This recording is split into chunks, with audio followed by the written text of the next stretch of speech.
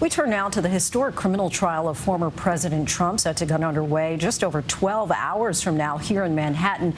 It's the first of four criminal prosecutions Trump is facing, and it may be the only one that goes to trial before the election.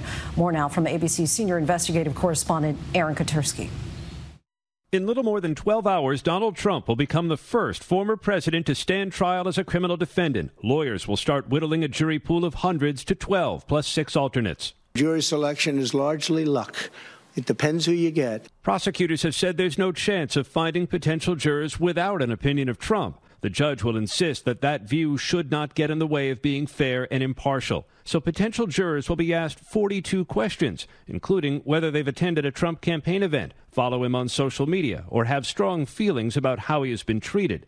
Trump has complained too many potential jurors have been exposed to negative stories about him. It's very unfair that I'm having a trial there. He sought to postpone the trial so it can be moved out of Manhattan. The judge refused, though, saying pretrial publicity was at least in part of his own doing.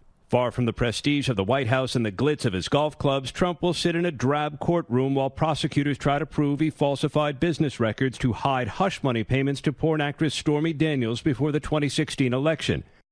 Trump denies those charges, but if he's convicted, he faces the possibility of up to four years in prison. And Linsey, while he could still run for president, he would not be able to vote for himself. Linsey. Many find that perplexing. Aaron Katersky, our thanks to you.